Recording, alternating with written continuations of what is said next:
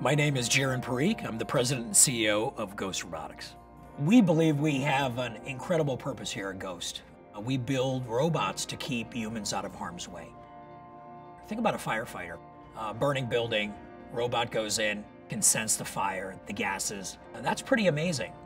Verizon's 5G network is really critical to the capability of our robot as we move forward. As these sensors are capturing more and more data and processing is taking place in the cloud, we have to have a very high bandwidth network that can transmit enormous amounts of information that are being captured by these sensors.